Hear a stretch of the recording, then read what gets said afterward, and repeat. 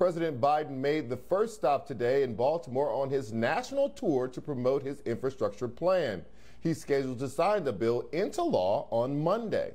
The president said his plan would improve the transportation of products and, and, supplies across the country, easing prices for consumers while adding unionized jobs. While Democrats celebrate the passage of, of the infrastructure bill, questions remain about whether Build Back Better will also pass. Earlier today, I had the opportunity to speak with Representative Jim Clyburn about that and the current status of the George Floyd Policing Act.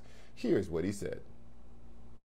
Democrats have something to celebrate. Uh, you have just passed the infrastructure bill that Biden put part as his part one of his kind of project for America. But Biden is in a bit of trouble. Uh, latest polls show his approval rating is now down to 38 percent. It is the lowest at this point in his pre uh, presidency of any modern president except Donald Trump. What do you think passing the infrastructure bill will do for Democrats and for Biden himself uh, in terms of the public perception of them? And what does this low approval rating portend for the hard road ahead for the second piece of his agenda, which is the Build Back Better plan? Well, uh, thank you very much for having me. First of all, uh, Build Back Better is the third piece. This is the second piece. The first piece was the American Rescue Act, and we passed that bill. Uh, and that bill uh, rescued families. That bill uh, cut tax on people, uh, families with children. if we didn't do anything else, getting over half of the children out of poverty is a big deal. Now, it may not be a big deal for people who don't have to worry about health care uh, and getting their children uh, their certain items for school, etc. But that was the first thing. This was the second thing. Now, the reason you said this the first thing rather than the second thing is because we did not message the American Rescue Act uh, properly. And I, I fail to understand that because Joe Biden has often uh, said one of the reasons that things went wrong with the Affordable Care Act is they didn't go out and tell people what we had done. But we just did not tell people what we did with the American Rescue Act. I hope we don't make the same mistake with this bill. It's a big bill, and it's a good bill. $65 billion for, uh, for broadband by itself would make this bill worth doing.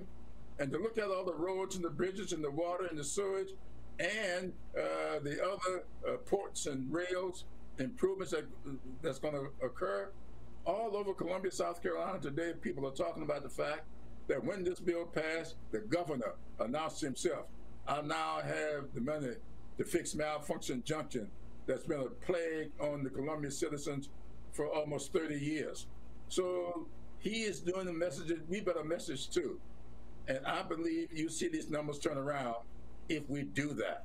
But if you sit back like we did with the Affordable Care Act, we lost 63 seats, Democrats did, over the Affordable Care Act because we didn't bother to tell people what we had done. And we came back eight years later mm-hmm. and ran on the Affordable Care right. Act and won the majority back. That's what it's going to take. Uh, Congressman, progressives uh, were willing to compromise on the infrastructure bill, willing to go ahead and take a vote on it without getting absolute assurances from the moderates that they would vote for the Build Back Better plan. Now Manchin is signaling with the, you know the new news about the rise in, inflation that that is also a concern to him. They've already put it off because they say that they cannot take a vote on in good conscience without getting a new scoring from the CBO. The CBO is basically saying that they cannot tell us when they can provide it, and it could be weeks away. Where do you think things stand on the Build Back Better plan? Well, the Build Back Better plan has to pass the House first. First things first. And uh, Joe Manchin is not in the House. So the progressives worked with the moderates uh, and the Congressional Black Caucus, with the Congressional Hispanic Caucus, the Asian Pacific Islanders. We got eight distinct groups in our caucus that we have to work with. Uh, the New Dems. All of these people work together to find common ground. We can only lose four votes in the House. And so what we had to do is each group had to get outside of its comfort zone. I met with the moderates and I pleaded with them, get outside of your comfort zone so we can pass them. One hour later, I met with the Congressional Black Caucus and pleaded with them, get outside of your comfort zone. I'm very comfortable with the way you are doing it your way. We need to find common ground. So, and we all did. So the progressive give up something, the moderates give up something, and that's what we're going to do to pass the bill in the House. Now, when the House, the bill gets to the Senate, then I hope my Democrats in the Senate, I hope that the White House will get engaged. I hope that these numbers that I have already seen on Build Back Better that says, uh, some said that it will have $600 billion in deficit reduction. Another one says it might have a $1.2 trillion in deficit reduction. I don't know what it's going to be, but all of us going to have to trust somebody. I'm, the, I'm now the CBO scorer, and now is anybody else in the House or the Senate. So if these people tell you that that's what it's going to be, we've been relying on them ever since I've been in the Congress. So why won't we rely on them this right. time? So, uh, Congressman, I would like to ask you if you are happy with the Build Back Better plan and where the numbers landed. Many of the, the things that black people really, really cared about and were promised to them got cut back substantially. In addition to things that other people cared about, got cut back substantially in order to get the moderates on board. Are you happy with where that bill landed? We cut back. We did not cut out. And that's where I think we have to really focus attention. It's like I told my caucus when I met with them, I used to work for Southern Governor.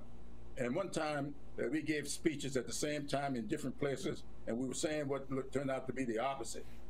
I went in to offer my resignation, and the governor said to me, Look at that glass on the table. It's half full of water. Because of your experiences, it's half empty. Because of my experiences, it's half full. Go back to your office and let's see what we can do to fill the glass up. So that's what we were trying to do here. These scores are 10 year scores. And if it takes 10 years uh, for something to score, let's cut it back and do it for two years and see where we stand after two years. So we didn't cut things out, we cut them back. And so I think it'll be, uh, that's why we ought not be using numbers. Because anytime you get a number, it's a 10 year number. And some of these things we may not need to do uh, beyond two years. So that to me is what the public has to understand. I'm going to do everything I can to get the public to understand that's what we've done here. Now, Charles, you remember uh, two, three weeks ago, every time I turned on my TV, somebody was yelling, you just cut $30 uh, out of the, from the HBCUs. Nothing happened like that. $30 billion was cut from the projection of 40 billion uh, that the president said he was going to do over a four-year period. So we says this is let's do it one fourth of it. This is his first year, so let's do 10 and come back and get the other 30. Maybe 10 more in the second year, 10 more in the third year, and 10 more in the fourth year. We didn't cut anything out. We just did one year of HBCU rather than four years. Wait, are you, are you, are you suggesting that that the bill as written still provides the $40 billion over the 10 years? No, I'm not suggesting that. I'm no. suggesting it provides okay. 10 billion. And we'll look at right. next time and next time. That's the way you score. Get to, you know, we said something, I spent a little time in law school. When the camera gets his nose under the tent, maybe he can work himself and get the hump later. Right, right. I want to. I only have a few minutes left here. I want to ask you about something. Last time I had you on the show, you were very optimistic that we were going to get something passed on the George Floyd Policing Act. Those negotiations fell apart. There was finger pointing on both sides, saying that you know that, that, that we're not negotiating in good faith. How do you feel now that it looks like we're not going to get anything done on a federal policing act? I have not given up on it. You know, um, we'll be back in January we get these economic things done, get people in a better frame of mind, uh, children are taken care of. You know the child tax credit will expire December the 31st. We get this bill passed and the bill Back Better. There's a, a full additional year uh, for child credit uh, tax credits on it. Let's get that done. People getting a better frame of mind, and and then I want to revisit the George Floyd Justice and Policing Act. And this time, I hope people will join me in trying to get things done incrementally. We got the, uh, the Civil Rights Act in 64. We didn't get the Voting Rights Act until 65. We didn't get the Fair Housing Law until 68. We now got them all. The journey of a thousand miles begins with a single step. So if we can get some things done with George Floyd, outlaw the chokehold, outlaw no knock uh, uh, interest, put a registry in place so people who violate uh, their the laws can't do something bad, get fired one place and go and get hired another place. That would be a start. And so what we lost this thing yes. for arguing over qualified immunity, and the moment I said, let's get started on this, everybody started giving me Hades. Well, now we got nothing. Representative Clyburn, I want to thank you for your time. I've kind of run out of time here. I, I hope that we get back uh, to talking about uh, a, poli- a, federal policing act, but it, it, seems very hard to do if we're going to be down to an election year where hard votes are harder to come by. But anyway, thank you so much for your time. I really appreciate it. Well, thank you very much for having. me. Just remember, we passed it in the House.